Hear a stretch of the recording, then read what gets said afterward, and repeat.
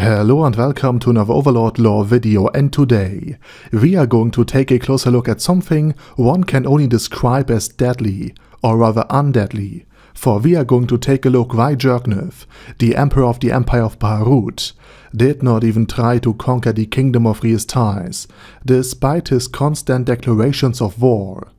But before we're going to take a closer look at any of this, let me quickly thank my Patreons for supporting this channel, as well as all users of the YouTube thanks function for making one-time donations. And now with that said, let's take a look at the geopolitical situation. As I have explained it many times before, the Empire wanted to conquer the Kingdom of Re-Estize, but instead of charging into a geographically well-defended border region, into an extremely numerous army, supported by a small but incredibly powerful royal warrior unit, as well as a couple of thousand elite warriors, granting them if nothing else a very sturdy defense. Furthermore, with hundreds of thousands of soldiers in its ranks, the army could sustain losses that would cripple the imperial legions without being rendered combat ineffective. The empire used another angle of attack and since most soldiers are just peasants pressed into military service, their labor force went missing every time they have to mobilize. Which, not entirely coincidentally, was right at the time of the harvest, meaning the kingdom would have one bad harvest after another. This drained the finances and the economy of Re-Estize to the breaking point, while the empire under the brilliant Jircniv prospered and increased in wealth and power. But even with the kingdom badly weakened and the empire being militarily superior in all aspects but sheer numbers, Jircniv did not plan to conquer the kingdom anytime soon, and the reason for this are the undead.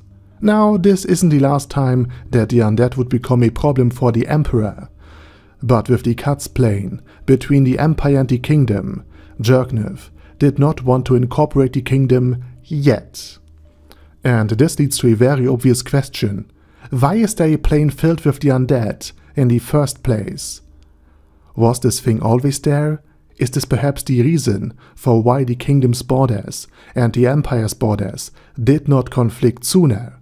And perhaps a change in size triggered the recent war? And the answer to all of this is no. The undead plain had been created artificially. See, undead can spawn at places of negative energy, for example a graveyard. But the amount of energy required is quite great. A small village graveyard with a couple of hundred souls in them. Like for example that in Carne would not generate much negative energy. However, the graveyard of E-Rantel, that occupied one fourth of the Outer Ring was spewing half a dozen of undead each night. And this is in spite of the graves being tended to and the undead being appeased with offerings and prayer. But on the Katze Plain where the dead not merely rest, well, to be fair, they don't rest much these days, but in a place where the people have actually died, where perhaps a hundred thousand lost souls were slain at some point in time, where the earth is soaked with blood, and agony. Negative energy to feed the undead was abundant.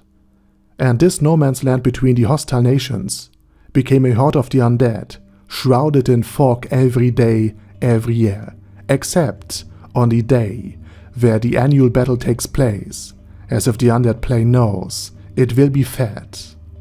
So in short, the death and the despair and the agony of all the fallen soldiers on this now accursed battlefield, have charged the soil with negative energy and thus turned it into a plain of undead. And with the plain crawling with skeletons and lesser undead, both Re-Estize and the Empire had permanent undead extermination quests issued in order to contain the plain, or rather its undead. Still with so many undead wandering this plain, more powerful undead occasionally spawned, thanks to the ample supply of negative energy. And we are talking about Death Knights, which required Fluder Paradyne and his disciples to capture.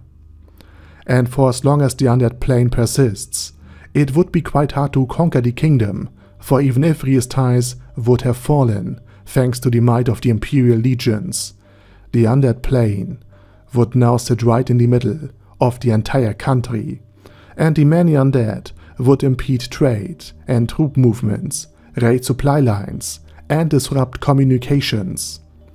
And since the way through E-Rantel is the only way to enter the kingdom from the Empire, there aren't any good alternatives to going near the Katze Plain, meaning that until the issue would have been solved, the Empire would not be able to supply the newly conquered regions adequately. But luckily, Fluder Paradyne had already a solution for this problem.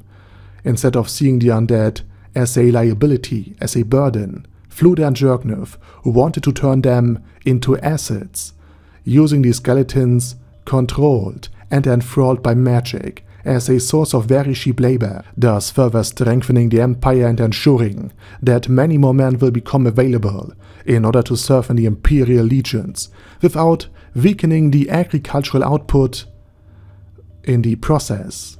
And peasants, after all, are excellent stock for soldiers.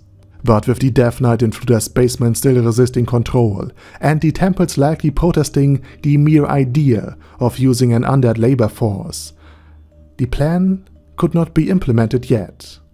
That is, until Ainz Ooal Gown had revealed himself, until he had conquered the plain, and after the Empire became a vassal of the Sorcerer Kingdom.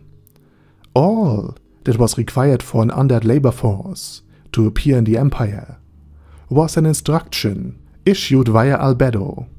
And with that said, I hope you have enjoyed this video, please let me know your thoughts and idea down in the comment section, and as usual, I say my special thanks to Dash Dash Dash, Arder Daddy Arder, Bad Guy Yi, Bad Burrito 316, Beezer, Ben C, Brandon D, Chrissy, Crowley 0221, Sia, Crystal Prime, Dead Slime, Death is Mercy, Deathless Dragonlord, Demon Xenomorph 1987, Devin Downen, Ding Dong, Duckwagon, Dunkler Krieger, Dystopia, Dystopia II, Enigmatic Unicorn, Feral Shivan, Guy with That Head, Hector Marino, Hoss, Huster, Jacob G, Jana B, Jason, J. Morris, Chromius, Kyle R, Lee K. Long, Legendarius,